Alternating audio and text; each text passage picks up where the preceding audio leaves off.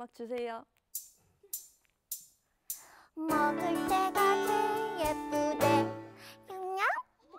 누구보다 제일 귀엽대.